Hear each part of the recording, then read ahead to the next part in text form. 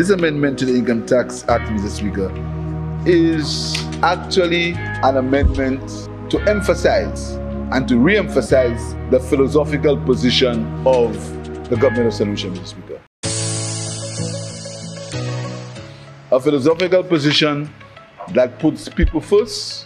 Any contractor who gets a $10,000 contract with the government when he goes to the, in the Treasury Department, 10% is deducted from his earnings. And contractors complain all the time that even, even though they get the job, they get nothing from the contract because they are charged 10% by the government before they pay their workers, etc., Mr. Speaker. So we decided, Mr. Speaker, that we would exempt payments of $10,000 unless from the 10% deduction, Mr. Speaker. It's another move by the government to put more money in the pockets of the people of this country, Mr. Speaker. And a philosophical position that there must be opportunity for all, and those who receive less are not unduly disadvantaged.